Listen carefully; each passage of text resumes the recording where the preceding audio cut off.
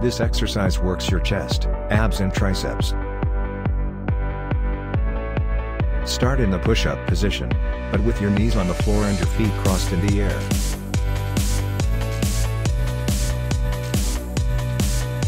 Lower down until your upper arms are parallel to the ground. Push back up again.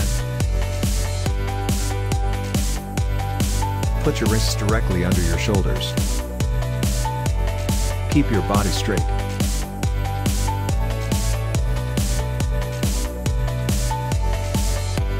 Inhale when you go down, and exhale when you go up.